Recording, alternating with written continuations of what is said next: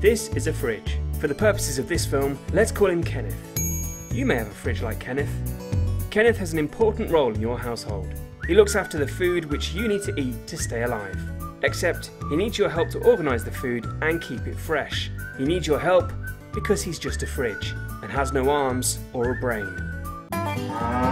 When putting your meat in Kenneth, make sure you put it on the bottom shelf, ideally on a plate. This stops any juices from the raw meat dripping onto any other food. Fatality.